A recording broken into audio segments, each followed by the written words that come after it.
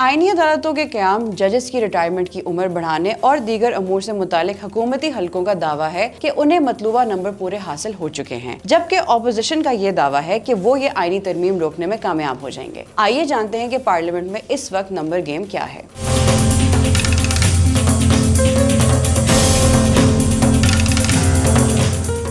आईनी तरमीम से मुतालिक कौमी असम्बली और सेनेट के अजलास 17 अक्टूबर को बुला लिए गए हैं, जहाँ मुमकिन तौर पर इस मामले को मंजूरी के लिए पेश कर दिया जाएगा। आईनी तरमीम की मंजूरी के लिए हुकूमत को कौमी असम्बली के 336 के ऐवान में 224 और सेनेट के छियानवे के ऐवान में चौसठ अरकान की हिमायत दरकार है, जबकि इस वक्त कौमी असम्बली में उसे 214 और सेनेट में चौवन अरकान की हिमायत हासिल है। पार्लियामेंट के दोनों ऐवानों में हुकूमत को आईनी तरमीम की मंजूरी के लिए मजीद दस दस अरकान की हिमायत दरकार सरकार है। इलेक्शन कमीशन अगर मखसूस नशस्तों से मुतालिक फैसला जारी करते हुए पी टी आई को मखसूस नशस्तें नहीं देता तो कौमी असम्बली में हुक्मरान इतिहाद को जे यू आई की हिमायत के बगैर भी दो तिहाई अक्सरियत हासिल हो जाएगी और इसकी मजमू नशस्तों की तादाद दो सौ तीस हो जाएगी। आईनी तरमीम की मंजूरी के लिए हुकूमत को सेनेट में भी दो तिहाई अक्सरियत यानी चौसठ अरकान की हिमायत की ज़रूरत है। इस वक्त हुक्मरान इतिहाद को पीपल्स पार्टी के चौबीस, मुस्लिम लीग नून के नब्बे, बलोचिस्तान अवामी पार्टी के चार एम क्यू एम के तीन